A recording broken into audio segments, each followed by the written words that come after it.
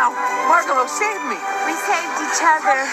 What did you think you were doing? Oh, you almost gave me a heart attack. I'm sorry, Mom. You ran away from home. I know. And you had George lie to us? Yeah. Then why am I so proud of you? Mrs. Little, this belongs to you. My ring.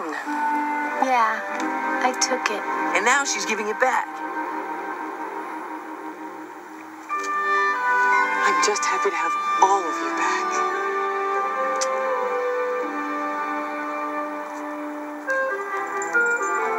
Snowbell, you made it. Oh, thank goodness you're all right. Snowbell, where have you been? You wouldn't believe what Stuart and Margalo have been through. Snowbell,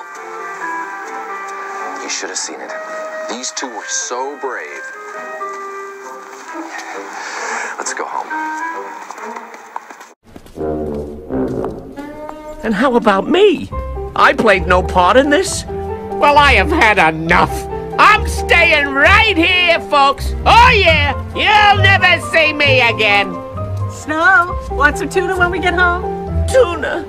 I love these people. Wait, wait for me.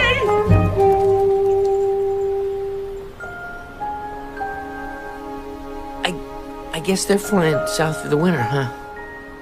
I guess. You've always dreamed of going, haven't you? But Falcon never let you. Every year I'd just watch all the other birds go. The ones who were free. You're free. Stuart, we'd be so far apart. It wouldn't change a thing.